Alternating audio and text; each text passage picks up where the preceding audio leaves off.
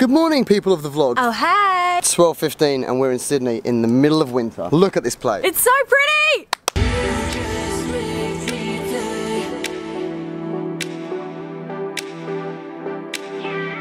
I think we've got all the footage we need from here. I'm starting to feel quite hungry. We should probably pop to the winery again.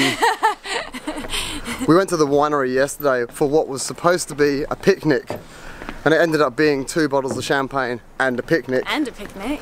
Oh, check this boat out. Look at that one. So kind of nice just starting the day at the boat place.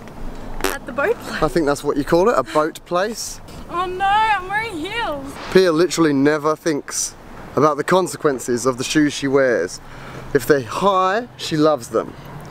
Doesn't think about the fact she's sometimes got to walk on mud, sand, living in Australia. We're nearly always on sand.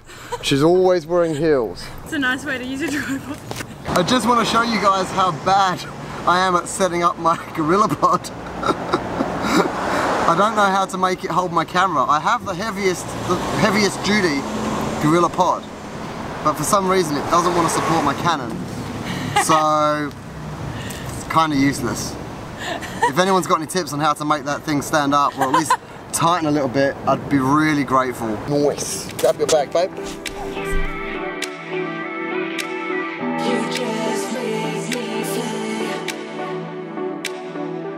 Mwah, mwah. Good to see you. Hey, vlog. This is Joshua Heath. He's a stylist. Good to see you. You too, anyway.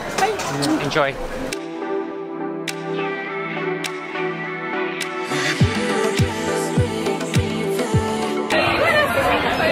No, we're oh, recording. Yeah, we're like a video. You know you're taking too many photos in a restaurant when people offer to help you. Round two done. Now it's dessert time. oh,